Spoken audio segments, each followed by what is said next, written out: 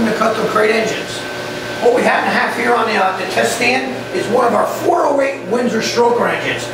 We all say it in the shop, we think this is one of our best products here. This thing, dollar for dollar, makes phenomenal horsepower and torque. Uh, this is a gorgeous looking motor. This customer chose the black. We got the black valve covers. We got a powder coated black intake. It's got the black Holley carburetor on here, black wires, MSD distributor, Eagle rotating assembly. Got a, our hydraulic roller cam in here. Our Manley push rods forged, uh, excuse me, uh, full Velcro roller rocker stainless steel. The Manley push rods.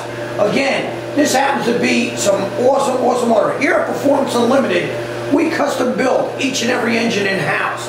Again, you have to check out and read what we're giving you dollar for dollar to know that this is a phenomenal product.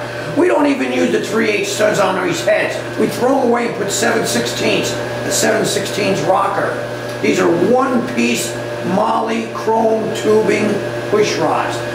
All of our rotating assemblies are all brand new parts. These are brand new rods, brand new pistons, brand new crank.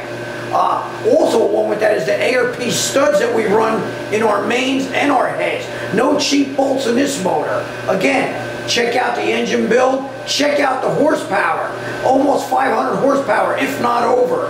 Phenomenal, phenomenal, over 500 foot-pounds of torque. Again, if there's something we can build with it, give Steve a call. We'll be happy to design something. Thank you. Peace and God bless. Come on.